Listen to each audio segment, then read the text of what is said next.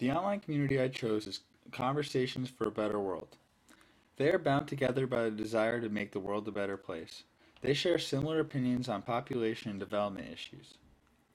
Every month, there is a new problem up for discussion on the site's monthly conversations forum. Members converse on the forum to find solutions and ideas for a better world as well as inspire others to take part.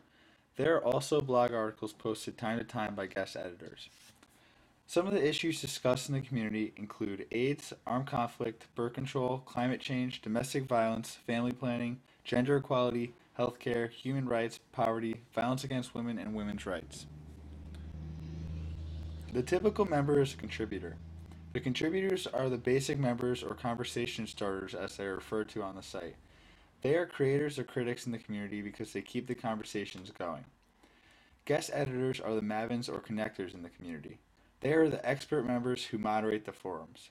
They begin the discussion through blog posts, screenca- screencasts, and chats.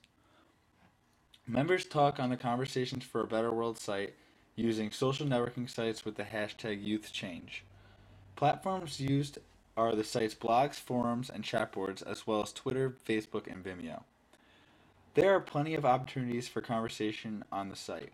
After filling out a free registration form to become a contributor, you can submit comments, ideas, personal stories, research findings, PowerPoint presentations, videos, podcasts, and photo essays.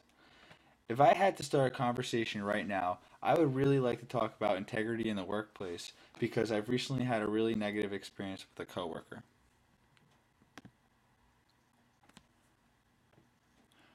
I would like to redesign and promote the community website because it looks like it went inactive in 2011 based on the dates of the blog posts. Activity on Facebook, Twitter, and Vimeo is surprisingly ongoing. The site needs an update in order to stay connected with its social outlets.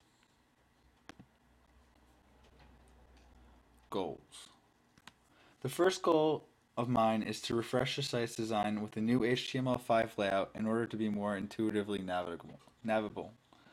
The second goal is to integrate a forum like PHPBB. Right now, the areas for conversation on the site aren't clear to visitors, nor is the content organized appropriately.